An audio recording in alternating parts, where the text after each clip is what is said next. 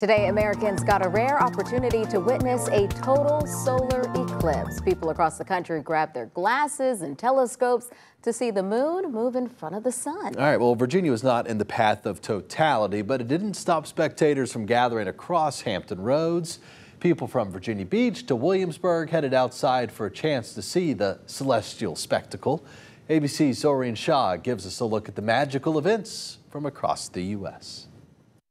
It's the moment millions had been waiting for. This is an amazing, magical experience. NASA estimating that 99% of America saw some form of the solar eclipse. And you're right, there's like right. And for many others, a very rare total solar eclipse's path right through the United States, 4,000 miles from Mexico to Maine. Whoa.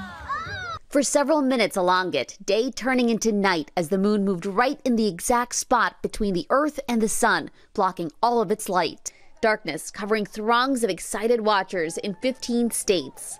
Matt Rivers witnessing it first from our team in Mazatlan, Mexico. There it is, complete totality here in, wow.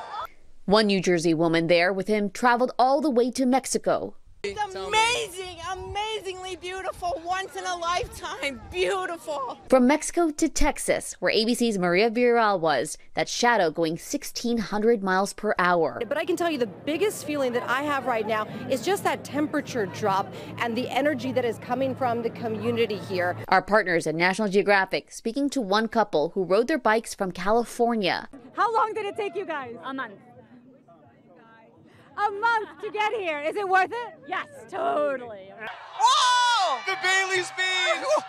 Robin Roberts and Whit Johnson at Cleveland's Rock and Roll Hall of Fame as the solar eclipse came through. What you what you told me is not what I was going to see, but what I was going to feel. I love feeling it with Woo! you here. Thank you so much, Robin, and everybody here in Cleveland, guys. I know we're going back to you, but we're just speechless. And a total eclipse of the heart. Maggie Rulli in Arkansas, as 350 couples said, I do, right before the eclipse hit that region.